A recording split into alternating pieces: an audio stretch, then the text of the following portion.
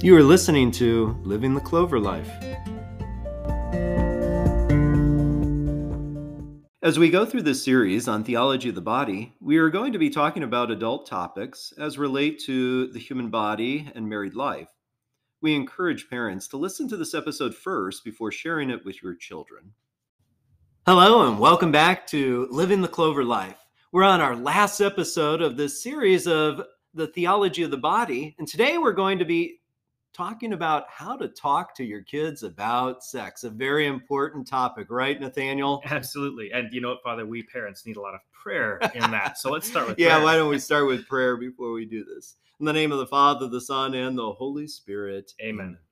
Heavenly Father, you have created each one of us in your image and likeness to give and to receive love. Help us to, to find the confidence to teach on the goodness and the truth of the human body to our family, to our friends, uh, in the many ways that you ask us to spread the good news. Help all parents who are anxious about this conversation to be at peace and to know that you will love them and guide them through it. We ask this through Christ our Lord. Amen. In the name of the Father, and the Son, and the Holy Spirit.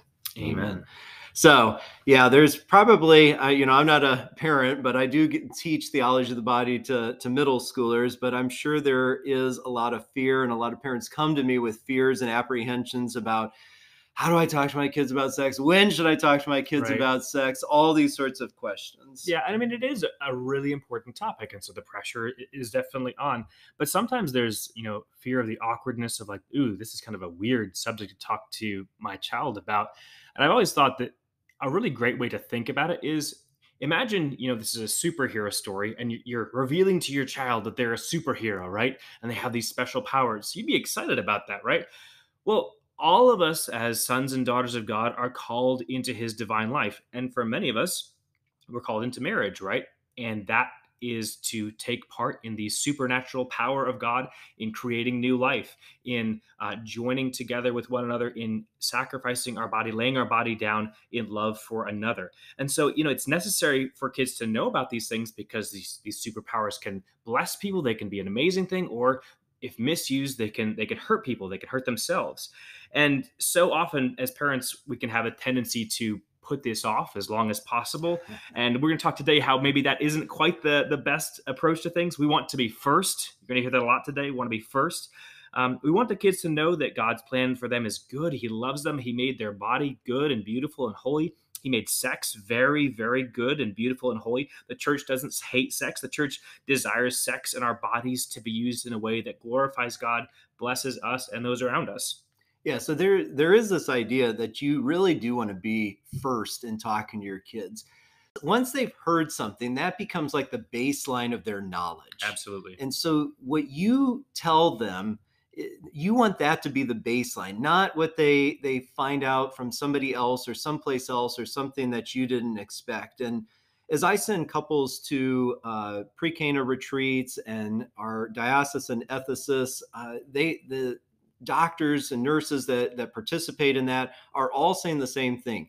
You got to start this conversation almost as soon as they can begin to understand the facts of life Right. and and keeping things very basic being very uh, proactive confident. You're you want to make yourself an expert on sex and sexuality from the very beginning of your kids life you know? So we're we're talking as as early as four or five years old as soon as they can understand okay terms like penis, vagina, uh, testicles to know what their body parts are, not using metaphors and Yeah. cutesy things, but the the real facts. Because again, you don't want to be challenged that on a cutesy term that you come up with that they then later find out, well, that wasn't the exact term Yeah. that my parents taught me, and maybe I should doubt other things that they have Right. told me. So right. Talking about the mechanics of their body, how they work, what they're for, Mhm. uh, even if you explain that these things are for much later in life. Because when you're prepubescent, one of the one of the great advantages about explaining their bodies to them is it's not personal Right. you know they they don't it's just like any other fact of life that uh, that the sky is blue or the sun comes up in the east or one plus one equals two. It's just that I this is a body part. This is what it is. What this is what it's used for, and it's used for what mommies and daddies. Uh, when someone is a mommy and a daddy, and as far as they're concerned, at four, five, six years old, that's like an eternity away. It's right. not like it's right around the corner. You and I know that it's, you know, within 10 years that they're going to hit puberty, they're going to be feeling these things uh, in a very different way. But as far as they're concerned from that very young age, it's an eternity away and it's not felt as so personal. Right. And that's why kids will, you know, just say blunt thing sometimes. Right. Well, the, the, passions haven't been engaged in the body, right? The hormones aren't raging yet at this point. And it's important to point out that these are ongoing conversations. You know, this is not a uh, a classroom experience, right? It's a it's a, a lifestyle of mentoring, a lifestyle of instruction and sharing, and just guiding your children into the truths uh, of life.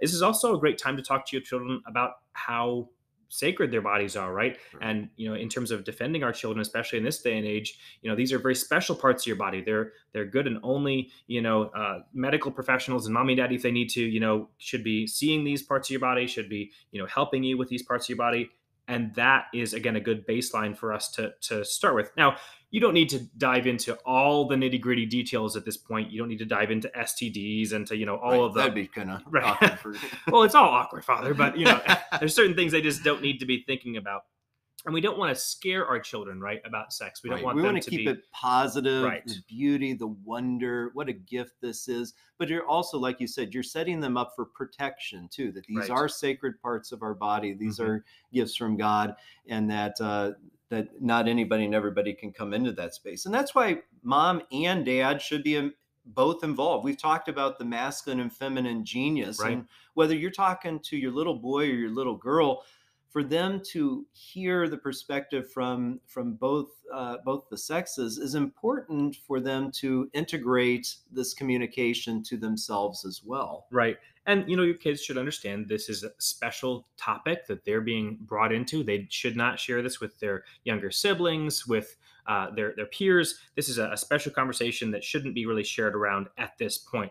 However, there are some, unfortunately, some tough conversations, some tough uh, topics that you do need to approach early on uh, like pornography. Again, you don't need to dive into every single thing, but you can point out to your children, you know, there are, are bad people doing bad things, right? People who don't respect other people's bodies, who who take pictures and, and put them out there, and we shouldn't look at those. You don't have to again dive into every single detail about that, but your child is going to encounter pornography at some point and knowing what to do in response to that is really an important gift and tool to give them and if we're just not aware i mean just the age of exposure gets lower and yes. lower and lower um, and it's because the, the porn industry is a multi-billion dollar yes. industry and they know their product is addictive and they want to get people addicted as early as possible. And so putting out links, links that they think kids will click on yes. so that they will see these things and making sure that your kid knows that if they see something on the internet, see something on their phone, on their tablet that they with, with a friend, you know. Yeah.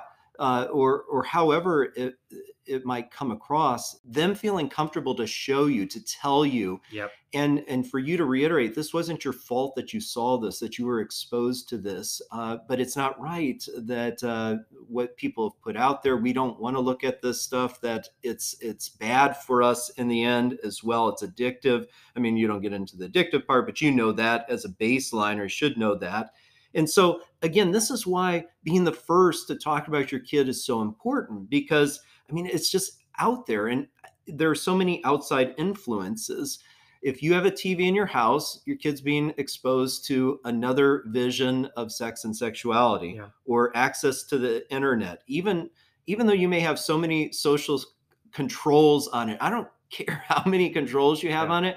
Kids know how to and find ways to get around them, yeah. whether on purpose or on accident. Right. It just happens. Yeah. Social media, other friends, you know, you don't know what kind of access they might have right. to other things that your kids being exposed to. And this is again not to draw us into fear, but if we can be that first voice and yeah. they can know that they can come talk to us about what they are seeing or what their experience when it comes to the idea of sex and sexuality you know we we have a foundation Right. to keep the conversation going and and to to keep ministering to them. And like father said earlier if you are the first exposure that your child has to this this special knowledge you become the reference point. You become the mm-hmm. expert. And the more you can establish yourself as a loving but truthful and frank expert the more ongoing relationship you can have with your kids. And look if your child has a phone they are 100% able to access pornography yeah it's sad um, it is sad, but again, that multi-billion dollar industry is out there looking for your child. Groomers are out there looking for your child. Again, not to, to foment fear,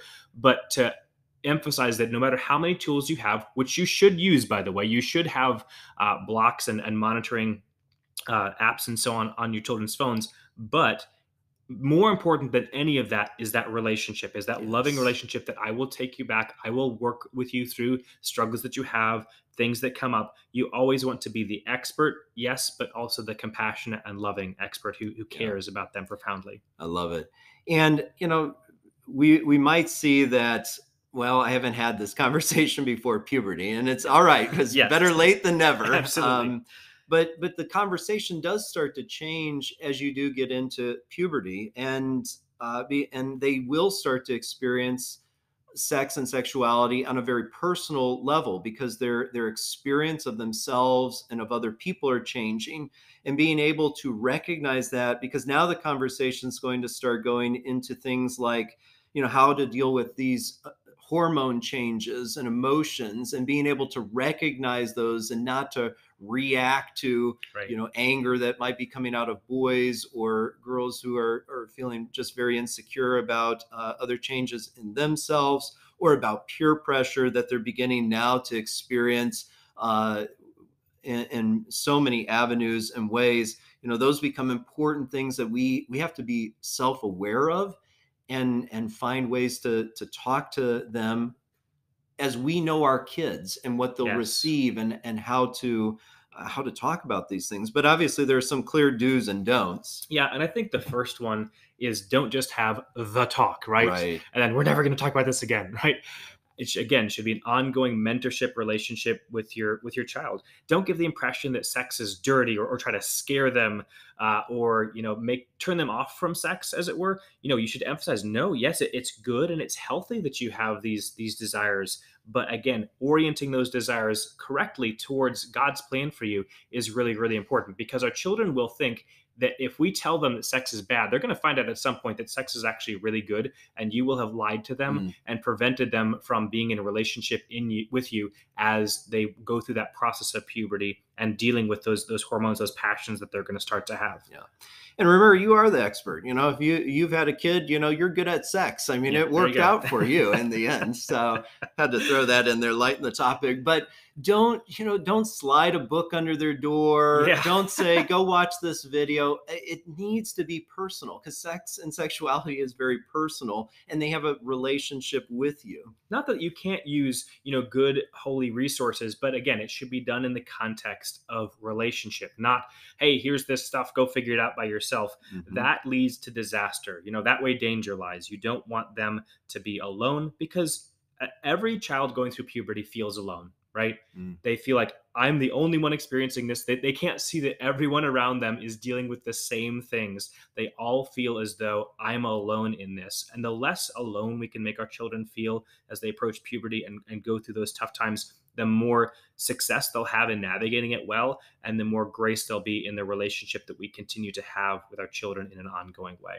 So one of the most important do's is reminding them of the goodness of their body. I- Absolutely. I, love talking about, you know, God gave us a body. We're going to have those bodies in eternity. And Yeah. of course, what do kids tend to struggle with some of the most is is body image. mm-hmm. And uh, reiterating again and again, your body is beautiful. Your body is good. You are a temple of the Holy Spirit. You are made in the image and likeness of God. All these things kind of remind us, but then that they're sacred too, and that there's a right and wrong way to use our bodies, all those sorts of things, and and and supporting them in that. I think also one of the things that's really important to understand is that part of this process is not even really talking about sexuality as such, but developing and cultivating a profound relationship between your children and Jesus Christ. Yes. Right? He's the one who has their best interest at heart. He's the one who loves them more than anyone else ever could. And he's the one that gives them their identity. Amen. You know, that, that as as a young man or a young woman, you you have your identity in him, you have your identity through your relationship with him, and then you learn how to act based on that relationship. And even more so, uh, that relationship with the church as being a positive maternal relationship as opposed to you know the church is keeping you down we don't like what the church teaches about this or that and then also further in a relational way and again not in particular talking about sex but fathers I want to talk to you for a second. How you love your daughter and mm. respect your daughter and love your wife and respect your wife does so much oh, for how your children look at seeing how the sexes should relate to each other because children know innately that their father in general is stronger than their mother. And so how that that strength is used how that dignity is imparted to the wife both tells girls how they are to be loved and then boys it tells them how they are to treat women. Both of those things are essential for how your child approaching and growing into their femininity and masculinity as they become man and woman not just boy and girl.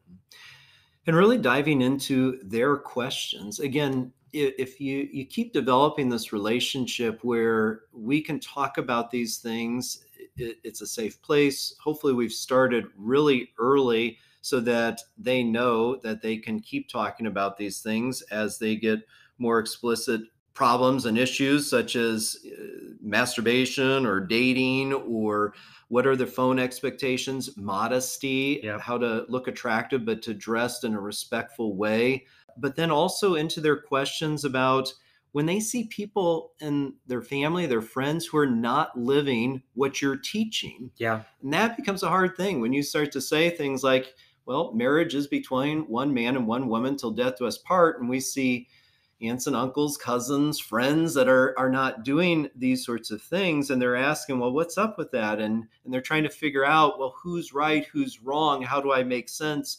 and how do i i love this person and can still see that they're maybe making a bad choice and of course that's always an important conversation that we we love the sinner but we hate the sin you love your kids even when they do wrong things or things that are against what what you have taught them as right and and you still love them and you you try to teach them to come to a better understanding of how to rightly live in the world. And and kind of using that analogy can be helpful for talking about other family and friends who are in that situation and and how they're trying to make sense of that. Yeah and i think one thing also to equip your child for is peer pressure right? You know that's a kind of a buzzword mm. but it's so true during our pubescent years we are so influenced by those around us in a way that chemically is very different from people at other stages uh, of life. We're all influenced by peer pressure, but kids at that age are even more so uh, potentially caught up in what's going on around them. I think it's really essential that parents, when their child starts going out and doing things in the world alone, that uh, one, they have something like a safe word that they can call you on the phone and say something to you. Hopefully, it's something that's not uh, overly uh, overly obvious to those around them, but something that says to you as a parent, "Hi, I need you to come pick me up. I need you to come get me out of this situation. And that covers a multitude of situations, but it gives your kid an easy out. And let your kids kids blame you. Oh, my mom says she's going to come pick me up. Like, oh man, or my dad's going to come pick me up. That is really, really important because then your child knows, mom, dad, they have my back and they're going to take care of me. They're, they're going to walk me through this. Alongside that dating right? Dating uh, starts earlier and earlier and earlier in our culture. Um, my kids won't be dating until they're about 49 or 50 but you know for some people it starts earlier.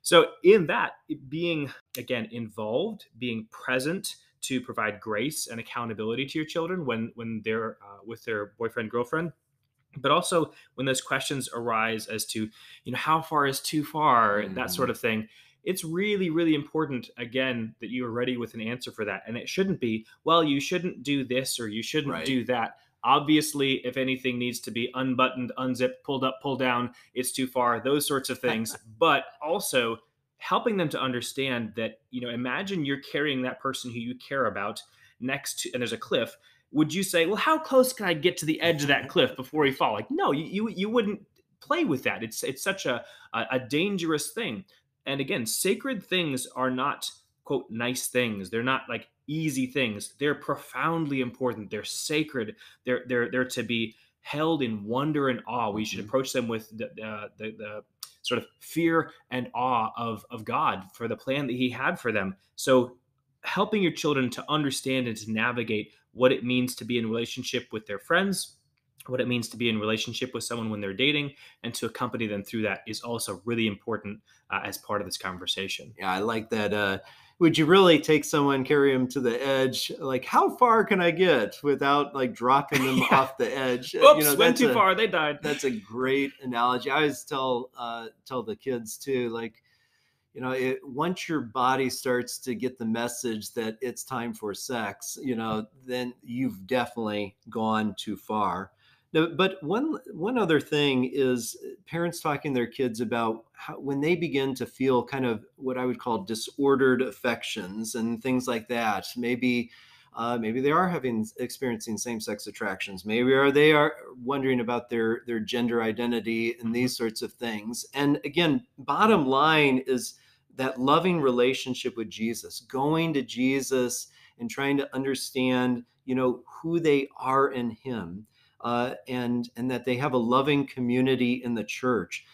Uh, puberty is a hard time because our bodies are changing. We yeah. do get a lot of mixed uh, emotions and feelings going on in our bodies, and then we're being told by the culture a certain narrative that well, if you feel this way, you must be this way. There are things that we have to be careful about because there's a lot of change that's happening. And again, getting them in that right relationship with Jesus uh, getting them to understand that it's it's not just God's rules, but it's it's God's game plan for making us the best version of ourselves. Going even further into combating the lie that this culture tells about pretty much everything, which is that my understanding, my feelings determine reality, sure. right? Helping kids to understand that yes, you have feelings and they are valid. Yes, you have thoughts and it's important that you are able to share those. However, just because you feel something or think something doesn't make it right or true, right?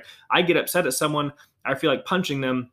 That's not right. Like my feelings don't. You don't, never don't, feel that way. No, I never feel that way. Uh, but if I were, if some people I've heard feel that way, but you know that feeling doesn't justify what I'm about to do. Also, our feelings, especially during puberty, are so unlinked from reality. They are just, and in many ways, connected to what our body's doing right now mm-hmm. and learning to navigate that in the most tumultuous time is really hard but you know dealing with the effects of the fall and disordered desires whether they are uh, too far or too uh, uh, too limited. Trying to find that ordered balance of god's plan for us is again another uh, journey that you walk with your child through. Yeah this is so this has been so good.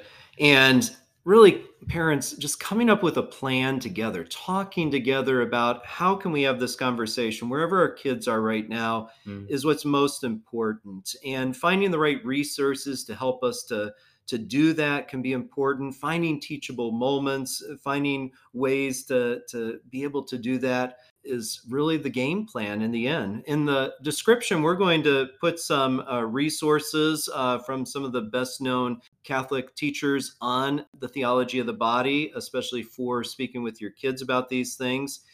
In the end, remember to pray. You know, just Amen. to pray for your kids, to pray for their their purity, to pray for their life in Christ, to pray for their vocations and also encourage your kids to pray for their future spouse. Amen. Yes. That's so important as well. Even if they're going to become a priest or a nun, you know, you're praying for the church. Yeah. That's your future spouse as well. When our Lady appeared in Fatima. She gave a message to Sister Lucia that the final battle was going to be over marriage and the family. So we mm-hmm. know this is a battle, and prayer is our greatest weapon love and relationship with our kids. Yes. And they're centered on Jesus and Mary and, and everything that we stand for. So we'll be praying for you. Keep praying for us as well. Be sure to join us next time when we'll be talking about overcoming the deadly sins. Until next time, keep living the clover life. You've been listening to Living the Clover Life. For more information about St. Malachy Catholic Parish, check out our website at stmalachy.org. S T M A L A C H Y dot org.